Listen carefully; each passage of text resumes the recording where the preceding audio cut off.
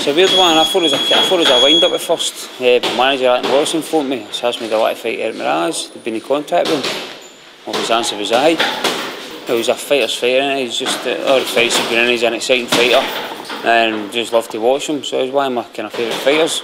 You know, I've got to share my ring with him, so it's, that's a, that's a I suppose, dream come true. It's hard to offer six rounders, I mean, I like, I like to fight fighting for titles and fights like this against guys that's improving at that level. So to be told you're fighting six and eight rounders, it's been for 11 years now. So I mean, that's a Tiran is the kind of way back down. But look, for this fight, ah, it's been we've been for 10 weeks hard now, so feeling good. Yeah, see, pressure's on him. He's, eh, it's his hometown, it's a big day. So I've just got to go there and perform to the best I can do and hopefully that'll be good enough. But nah, I'm not worried it's in Mexico. It'll be good. No pressure on me, just go and perform.